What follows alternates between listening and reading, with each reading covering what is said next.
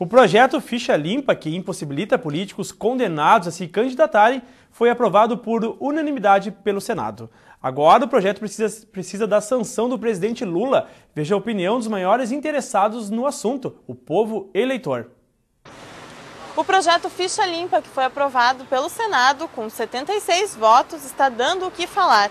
E nós viemos até as ruas para saber a opinião dos eleitores hamburguenses sobre essa nova lei. Pessoas que, que não têm a ficha limpa, eu acho que tem que pagar. Tem que continuar pagando não tem esse direito.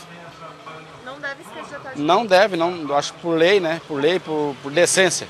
Por decência, principalmente.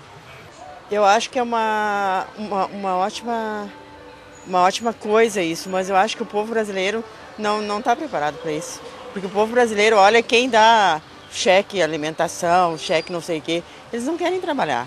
Eles querem ganhar tudo de graça. E quem tem ficha limpa não faz isso. Eu acho que não pode mesmo, não pode. Porque a gente vota neles para eles estar lá para apoiar, né? Eu não me envolvo nessas coisas, não gosto dessas, dessas confusão, eu não... Mas a senhora não vota? Voto, mas eu não nem presto muita atenção nessas coisas. Eu acho que está certo. Todo mundo que está tá na política que vai nos defender, né, as pessoas têm que ter ficha limpa. Como é que uma pessoa condenada vai nos defender? Ela não pode, né?